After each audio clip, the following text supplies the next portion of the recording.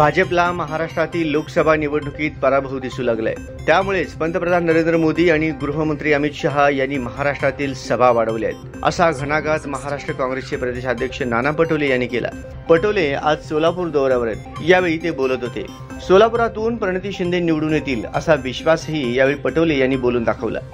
पटोलेंनी मोदींसह अमित शहा उपमुख्यमंत्री देवेंद्र फडणवीस यांना देखील धारेवर धरले. यावेळी माजी केंद्रीय गृहमंत्री सुशीलकुमार शिंदे शहर अध्यक्ष चेतन नरोटे जिल्हा कार्याध्यक्ष नंदकुमार पवार यांच्यासह आदी पदाधिकारी उपस्थित होते.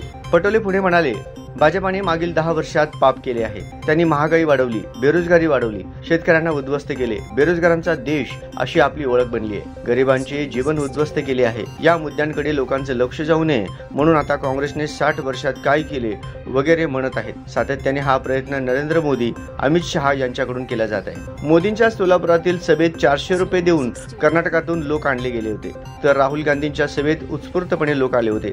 लोक आता मोदींचं भाषण आणि त्यांचे मुद्दे ऐकून कंटाळले असेही पटोले म्हणाले. नरेंद्र मोदी दोन हजार एकोणीसमध्ये सोलापुरात आले होते तेव्हा त्यांनी लष्कराचे गणवेश शिवण्यासाठी केंद्र उभे करणार म्हणाले होते. सोलापूरमध्ये आता आले तेव्हा त्या वचनावर काहीच का बोलले नाहीत दोन उड्डाणपुलांचा उल्लेख त्यांनी केला होता. सोलापूरचा आवाजच दिल्लीत आला नाही. दोन हजार चौदा आणि दोन हजार एकोणीसशे दोन्ही खासदार मौन राहिले. प्रणिती शिंदे या जागरूक उमेदवार आहेत. त्यांना निवडून द्या असे आवाहन पटोले यांनी केले. माळशिरसच्या सभेत देवेंद्र फडणवीस यांनी मी कुणाच्या वाटेला जात नाही कोणाला त्रास देत नाही पण ईश्वराची देणगीच आहे. माझ्याशी विश्वासघात केला की ईश्वर त्याचा सत्यानाश केल्याशिवाय सोडत नाही असे म्हटले होते. या विषयावर पटोले म्हणाले की ब्राह्मणांना शाप देण्याचा अधिकार आहे. हे शाप पोथी आणि पुराणांमध्ये वाचले आहे. मात्र देवेंद्र फडणवीस मटण खाणारे ब्राह्मण आहेत. त्यांचा शाप आम्हाला लागणार नाही. फडणवीस आणि मी एकत्र मटण खाल्ल्याचा दावा देखील पटोले यांनी यावेळी केला. दरम्यान यावेळी नाना पटोले यांच्या उपस्थितीमध्ये अनेकांचा काँग्रेस प्रवेश सोहळा पार पडला.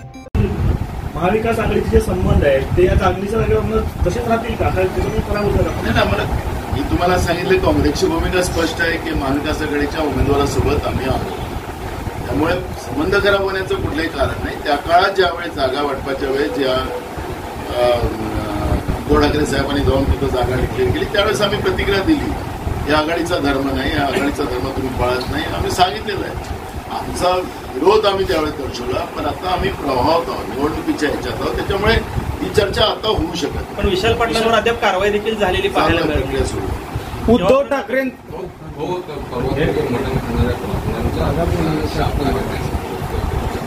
ब्राह्मण नाही त्याला मटण खाणाऱ्या माणसाचं ब्राह्मण त्याला त्या- मटण खाणाऱ्या ब्राह्मणाचं मी- ब्राह्मण समाज त्याचा राग करेल. ब्राह्मण समाज म्हटलं तर समाजातला एक शुद्ध समाज आहे.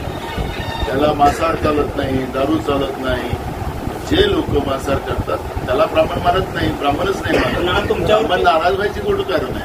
तुम- तुमच्यावरती अबू मुसांच्या दावा दाखल करू शकतो देवेंद्र फडणवीस आम्ही सोबत? आम्ही सोबत खाल्लेलं आहे त्याच्यामुळे खाल्लंय?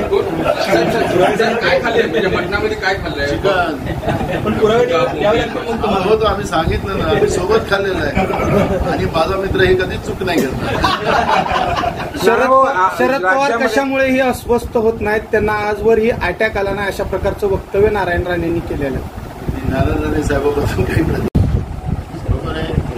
त्यांना काय त्यांच्या जो केंद्रातलं सरकार आहे त्यांचे जे कार्यकर्ते आहेत केंद्रामध्ये तपास यंत्रणेतले ईडी सीबीआय अजून एक आहे ना कोणतं आहे? इन्कम टॅक्स हे तीन लोक आहेत.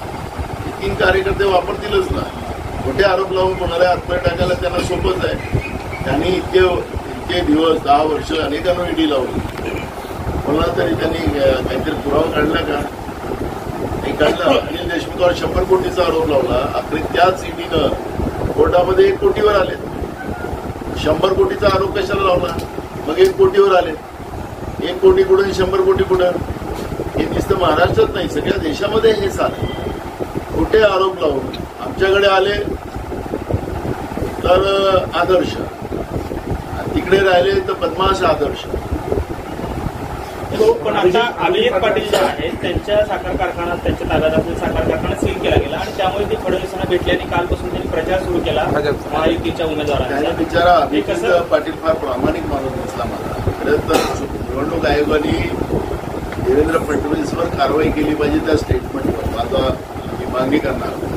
त्यांनी सांगितलं अभिजित पाटलांनी की मला फडणवीसांनी सांगितलं की मी तुझ्या कारखान्याला ताकद देतो आणि तू माझ्या बाजूला राहा. आणि मी कारखान्यासाठी त्याच्याकडे आहे असं तुमच्या टीव्हीवर त्यांनी इंटरव्ह्यू दिलेला आहे. ठीक आहे माझं आहे का वाक्य त्यांचं वाक्य असं प्रलोभन निवडणुकीच्या काळात सत्तेमध्ये बसलेल्या लोकांना देता येत नाही. आणि म्हणून निवडणूक आयोगाने देवेंद्र फडणवीसावर कारवाई केली पाहिजे अशी मागणी आमची आहे. आपण तुम्ही देखील तक्रार करणार. आयोग आयोग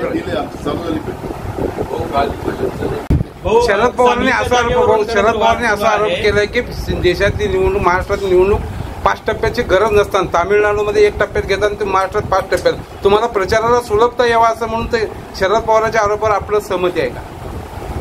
खर तर ही जी प्रक्रिया ज्या असतात निवडणुकीच्या काँग्रेसने आपण पाहिलं की काँग्रेस सत्तेत असताना एक दोन टप्प्यात नाही तर जास्तीत जास्त तीन टप्प्यात अशा निवडणुकीचं कारण की एक लॉंग टाईम प्रोसेस होणं. त्यामुळे आचारसंहितेच्या माध्यमातून अनेक विकासाची कामं थांबतात. आज आपल्या इथं पिण्याचं पाणी नाही. अनेक जिल्ह्यात पिण्याचा दुष्काळ पिण्याच्या पाण्याचा दुष्काळ आहे. लोकांमध्ये त्राईत्राई वाचलेली आहे.